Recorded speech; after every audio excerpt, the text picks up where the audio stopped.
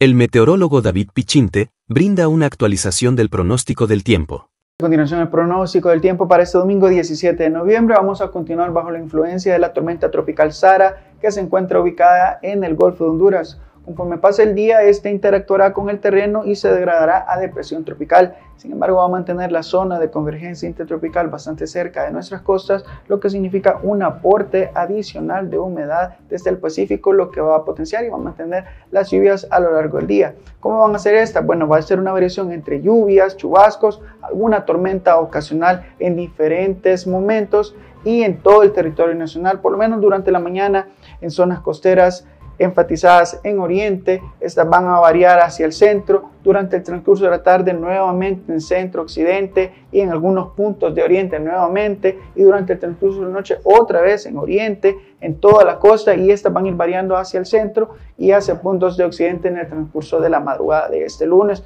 bastante constante la lluvia. Las temperaturas se van a mantener ligeramente frescas a nivel nacional entre 24 y 29 grados Celsius, más notable en zonas de costa y oriente, en donde las máximas suelen andar entre 34 y 36, pues las máximas ahí van a variar entre 28 y 29 grados Celsius.